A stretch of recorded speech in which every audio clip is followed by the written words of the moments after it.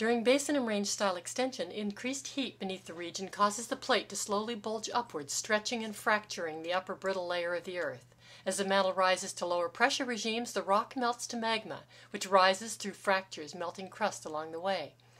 Basalt magma erupts as thin, fluid lava flows. Some magma is stored in the crust, forming large reservoirs of a gas-rich viscous magma with higher silica content. These can erupt violently as ash eruptions that can blast tens of thousands of feet above the earth. The high silica magmas with low gas content form lava domes, characterized by thick piles of lava. Degassing occurs as the volatiles evolve out of the magma through cracks in the rock, or they may have escaped during previous pyroclastic eruptions. Gas-rich basalt can rise quickly. When this happens, the volatiles expand rapidly, increasing the pressure like agitated champagne before it erupts vigorously, forming lava fountains that rise as much as a thousand feet in the air.